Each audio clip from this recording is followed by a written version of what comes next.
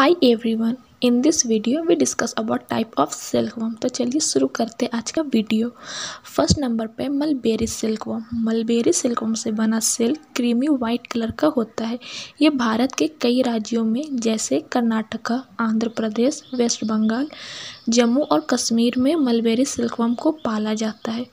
Mulberry silk worm का nature domesticated होता है।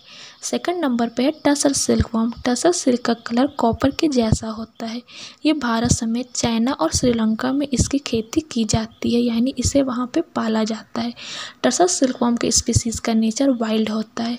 थर्ड नंबर पे है, एरी सिल्क वर्म इससे प्राप्त सिल्क के धागे का कलर क्रीमी व्हाइट कलर का होता है but compare with mulberry silk it is low shine Eris silk form का प्रोडक्शन ईस्ट एशिया में ज़्यादा किया जाता है।